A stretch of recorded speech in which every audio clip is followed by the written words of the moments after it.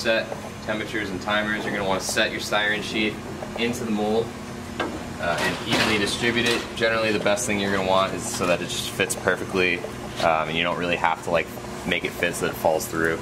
Um, so once that's set uh, and all your stuff is set up on the machine, all you got to do is uh, you're going to first press both start uh, buttons simultaneously to clamp it down.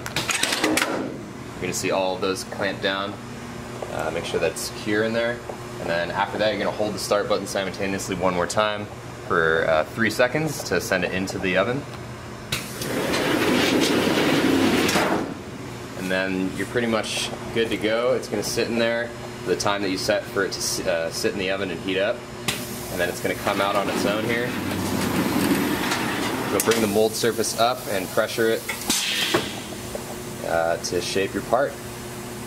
Here in particular, we have a uh, ice cube tray, which is common to be made in the 216 lab for this procedure. And uh, it'll release from the mold after a set time. We have approximately 20 seconds.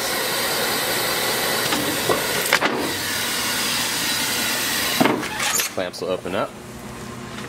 Take your styrene sheet out. And there we got a beautifully pressed cube tray. You'll then go back out with your pliers and cut that out and you've got your finished part. Run that as many times as you need. Finally, once all of your parts have been made to your desired amount, and uh, you don't need to make any more. You're basically going to go back to the main menu here on the main screen and then you're going to come over to the left side of the machine and just like you started to power on the machine you're going to want to just push it in a little bit and turn it to the left. That'll turn all the settings of the machine off. The display will be off and the oven will slowly cool down and uh, you'll be good to go.